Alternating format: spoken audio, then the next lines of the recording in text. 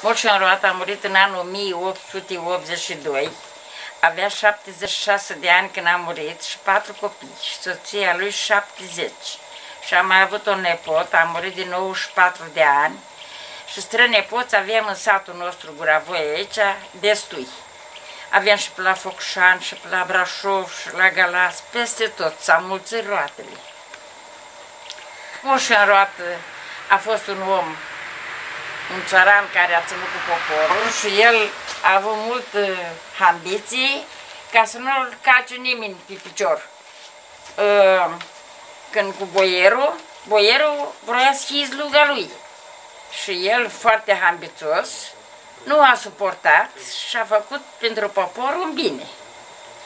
Uh, iar avea, i-a chemat, avea bolovanul care este aici.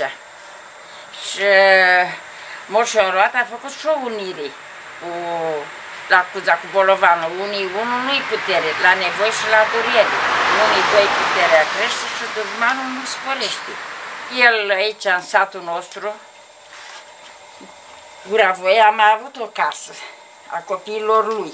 Și când cu Ceaușescu au stricat-o la copii, că vroia să o iei statul.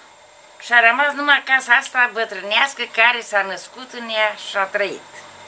Și mai are rude acolo, unul Ion Roată, care a mai vorbit el și la uh, foarte bătrân, mare copil.